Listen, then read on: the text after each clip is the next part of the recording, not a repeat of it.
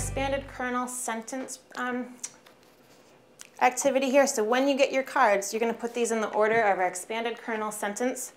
Um, if you're not sure the order that they go in, we have a hint on the wall for you. But see if you can try to read through these and figure out where they go on your own before you look up. Let's see, Grace.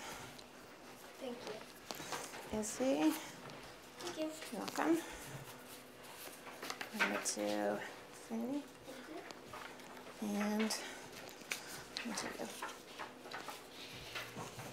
Miss And much. Yes, ma'am. I have two I have three adjectives. Do you? Well, let's see. Um, What does this one say? What are the words at the bottom of this one? oh, What does that say? A and that. Yeah. You know where that one goes now? Yeah. Okay.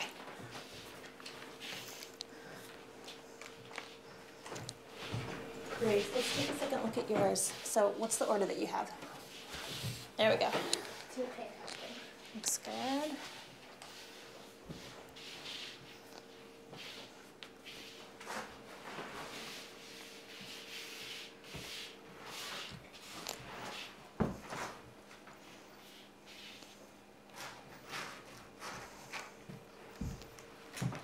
Okay, looks good, right?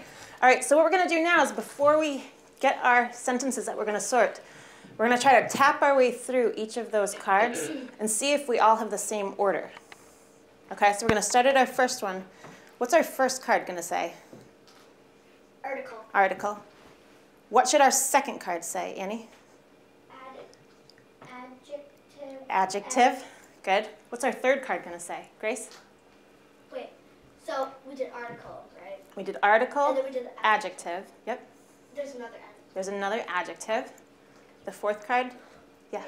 Noun. noun. Our fifth card, Cool. verb. Yep. Our sixth card, Jack, Word phrase. where phrase. And then our seventh card, Jack, When phrase. when phrase. Okay, so I want you to get your finger ready. We're gonna all tap all the way through and say all of the cards. Ready? At the same time. Yep. So here we go.